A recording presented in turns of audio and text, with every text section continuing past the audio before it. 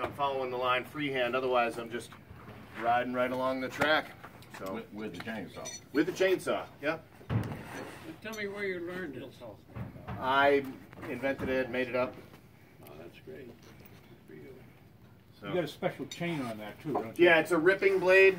Yeah, see, because Harold, where's Harold? Harold turned us on when we were cutting the big pieces. He turned us on to the idea of using an Alaska chainsaw mill, which I'll show you. But it's it basically is a horizontal version of this same thing, and it's got a top and a and that rides along your wood or rides along a fence, and you push the thing.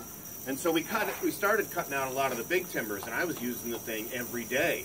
And then at one point, for one of the pieces of deadwood, I thought, well, what if I make the track on one side a little higher and the other side a little lower? Would the thing cut a taper? Would it cut a, a rolling bevel? And it did. Um, and then we started talking about getting this stuff, and we started hearing about how big it was, and you know, just trying to figure out how we were going to deal with it. So I wanted to try and come up with a way to do it essentially by myself, which is what I do. So